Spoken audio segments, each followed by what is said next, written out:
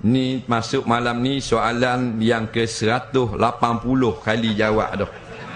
Pening dah kepala soalan ni.